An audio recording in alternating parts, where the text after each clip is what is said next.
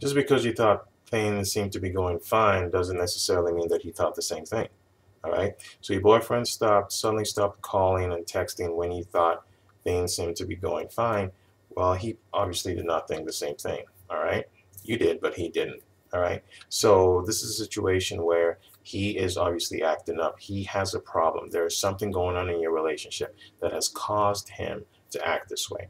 So what do you do? In a situation like this, you want to set up a meeting with him and talk to him. You know, this is not about calling. This is not about texting. This is about having a face-to-face -face meeting. You know, that's the best way you can go about resolving the situation right now because it's not going to work through phone calls. It's not going to work through text because he's controlling the game as far as that's concerned. You know, you've got to take charge. You've got to find a way to meet up with him face to face, have a conversation, and see what the problem is. Find out what's going on so that you can see if the both of you can resolve it or not. All right. So stop waiting, waiting for the calls and texts. Go for the face to face.